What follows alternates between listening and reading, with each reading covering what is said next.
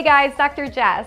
Today I want to go in a little more depth on a video about who cannot do kill bind sweat and that's people who can't detox properly so there may be lots of reasons you guys can't detox properly it could be genetic mutations that prevent you from getting rid of toxins that your body encounters every day it could be that you can't sweat right it could be that you're not going to the bathroom twice a day so let's review detox pathways really quickly so you guys understand. Let's say your body's exposed to a foreign pathogen or something throughout the day. How does your body get rid of it? It excretes it through the urine, excretes it through the stool. You can sweat it out, you know, sweat it out your, your pores. Um, you can also exhale through the lungs and that also is a way to get rid of pathogens and toxicities.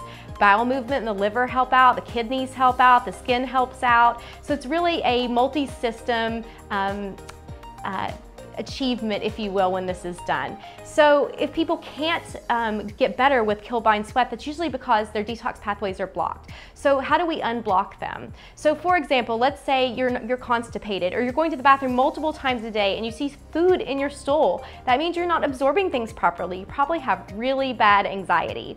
So bitters, bitter salads, bitter herbs, things like dandelion, gentian before a meal can really stimulate your own digestive enzyme formation to prepare you and your bile to get ready to emulsify your food and your fats so you can absorb them properly right? You also need to chew each bite 30 to 40 times and really be mindful. Don't eat while you're upset or you're driving or you're in an argument.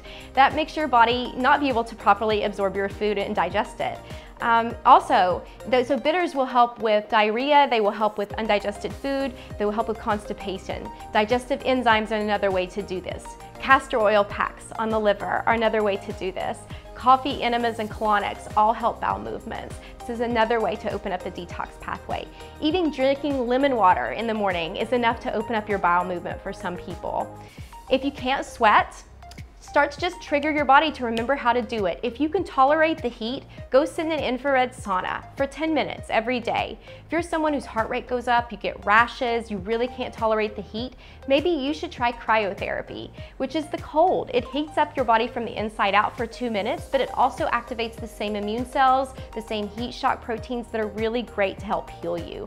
So there's a lot of different ways to trigger that pathway. Just remember consistency is key. Eventually one day you will start sweating and you will trigger that pathway and you'll be so happy about it.